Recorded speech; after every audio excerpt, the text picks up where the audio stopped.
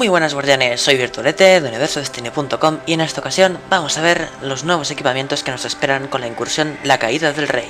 Más o menos, esta sería la estética que adoptaría eh, un cazador con todo el equipamiento de la incursión equipado. Esta sería la de Titán.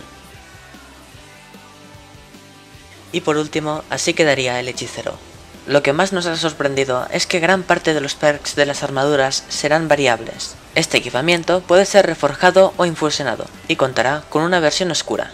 ¿Entramos en detalles? Empecemos por el casco de cazador llamado Máscara de Vacío Oscuro.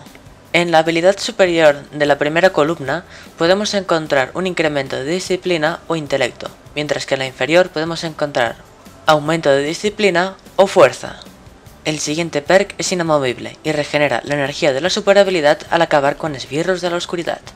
En el siguiente perk bien nos podemos encontrar que aumenta la energía de nuestra granada al recoger un orbe de luz, que al recoger una orbe de luz se regenere el ataque cuerpo a cuerpo, recoger un orbe de luz empezará a regenerar la energía de los escudos, o iniciar la regeneración de salud al recoger un orbe de luz.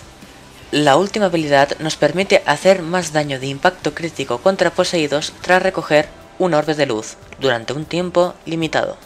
El casco de titán, corona de numen de la guerra, posee las mismas habilidades que el casco de cazador.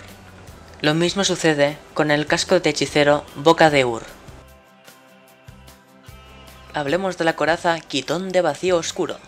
La habilidad superior de la primera columna puede proporcionar un aumento de disciplina o intelecto, mientras que la inferior de fuerza o disciplina. En la habilidad superior de la segunda columna podremos encontrarnos ampliación de munición en el cargador de fusiles automáticos, fusiles de pulsos, fusiles de explorador y cañones de mano. En las segundas, ampliación de munición de fusiles de fusión, escopetas, pistolas y rifles de francotirador. La habilidad superior de la tercera columna siempre potencia la recuperación por cada una de las bajas que hagamos con granada. Es una habilidad acumulable y cada uno de estos potenciadores dura 20 segundos. En la ranura de perks inferior podemos encontrarnos las siguientes habilidades.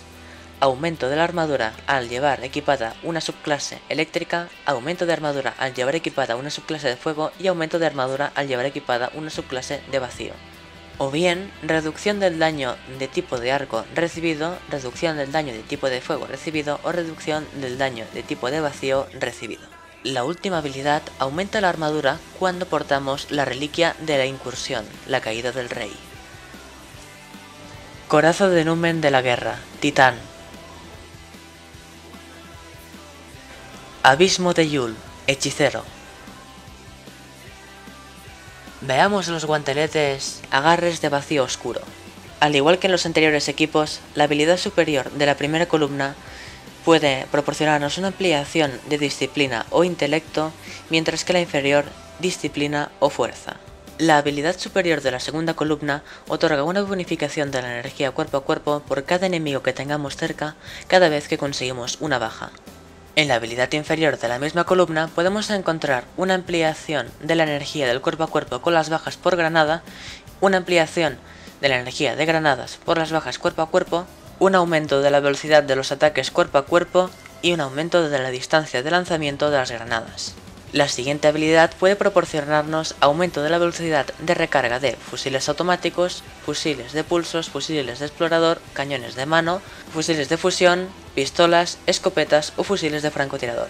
La última habilidad siempre aumenta la velocidad de recarga de nuestra arma cuando nos encontramos en aura. Esto imagino que se trata de algún concepto de la próxima incursión. Puños de Numen de la Guerra. Titán. Agarre de Eir. Hechicero. Hebras de vacío oscuro. Botas de cazador. La habilidad superior de la primera columna puede emplear la bonificación de intelecto o disciplina, mientras que la inferior puede ampliar la de fuerza o disciplina.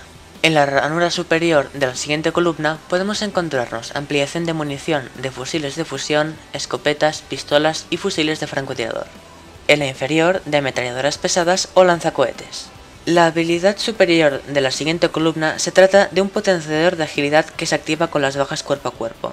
Es acumulable y este dura 20 segundos. En la ranura inferior podemos encontrar nuestras habilidades. Aumento de agilidad al una habilidad de daño eléctrico, solar o vacío. La última habilidad aumenta la agilidad cuando nos encontramos en dimensiones. Botas de Numen de la Guerra, Titán. Camino de Sol, Hechicero. Veamos el distintivo Manto de Vacío Oscuro. En este caso, la habilidad superior de la primera columna aumenta la bonificación de disciplina o intelecto, mientras que la inferior de disciplina o fuerza. La ranura superior de la siguiente columna puede aumentar la velocidad de mejora de fusiles automáticos, fusiles de pulsos, fusiles de explorador y cañones de mano, mientras la inferior de fusiles de fusión, escopetas, pistolas, fusiles de francotirador, ametralladoras pesadas o lanzacohetes.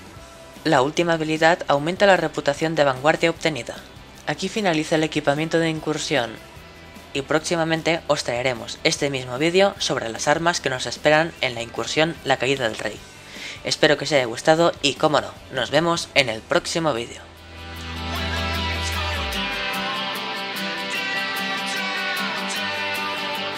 Ah, un vídeo menos, pero no puedo acabarlo. Aún me queda hacer una cosita, y es que tengo que mandar sí o sí un muy fuerte saludo a nuestro compañero de Universo Destiny, Cifra, que nos ha ayudado a confeccionar estas imágenes. Muchas gracias, Cifra. Si sigues así, acabaremos por soltar a tu familia, como te prometimos. Así que ya sabes, sigue haciendo tu trabajo y seguirán sanos y salvos.